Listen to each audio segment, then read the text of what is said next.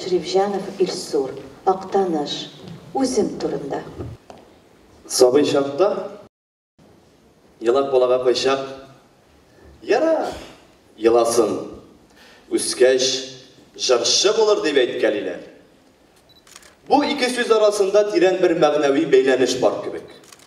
Башта елау сөзі алданырақ кірсе ә аннан соң инде үсә төшкәч жыр сөзі тирәнгәрәк я ул елатырга я елмайтырга тиеш шулай булмаганда жырлауның мәгънәсе юк сугыштан соңгы шыр Гади халык сәнгатькә шул кадәр сусаган ки, хәтта 5-6 кешелек агит бригада чыгышы да сугыш мехнәтләрен үз җилкәсеннән куя башлаган авыл халкы өчен үзенә күрә бер бәйрәм төсе ала иде.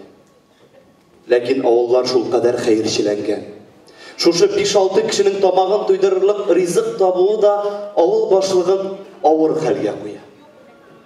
Әлфия аяк терәп каты сөйләшә.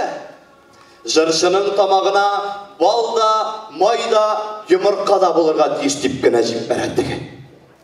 Табалар, тамақны туйдыралар. Әкиші, бір неше түрегден тұрған ауыл клубы шығырым долы болайды. Құл шабылардан хаман, клуб құл шабылардан клуб стенасының тузанлары ұша. Хаман, хаман оның жырлауын сұрайлар. Әлфия исә қарышмый. Жырлый да, жырлый. Жырлый ғына түгел, мұң сузар.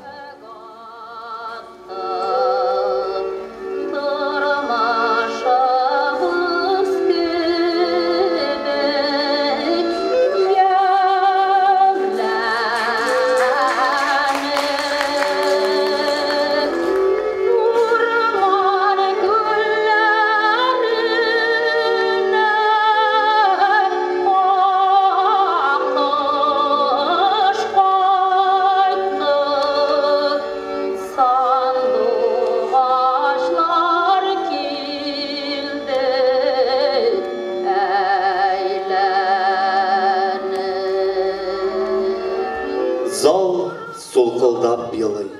Уллары, ирләре, сөйгәннәре сугыштан кайтмый калган кызлар, аналар, хатыннар киси. Таң атканчы, яктырганчы җырлаган чаклары да була Әлфиянең. Чөнки халык сорый, ялвара. Жырла балакаем. Жырла. Хәсрәтебез дәрья булып аксын диләр алар. Рахмет. Шәрифжанов илсур актаныш